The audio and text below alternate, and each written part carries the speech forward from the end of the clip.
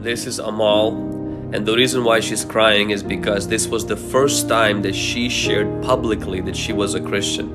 Amal grew up in a Muslim family from a Muslim background, but even though when she was Muslim, she still knew to call on the name of Jesus anytime she would have nightmare. And then one day she went to the party and in the bathroom one girl witnessed to her. She accepted Jesus Christ in the bathroom, mind you, and then the Holy Spirit filled her and instantly she saw Jesus in the corner standing and she started to point that this is Jesus standing there. And everyone thought she was drunk.